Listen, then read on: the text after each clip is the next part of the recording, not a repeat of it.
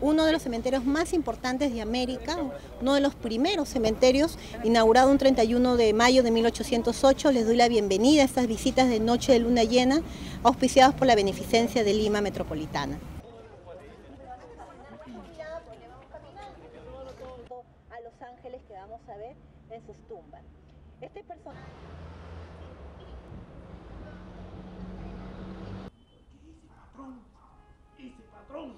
sin su caballo es solo excremento de borrego. Sí, ese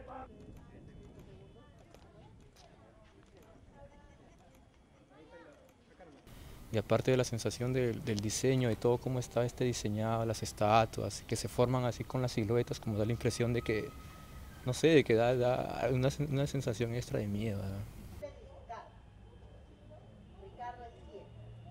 El de marzo, como ven acá abajo, de 1893.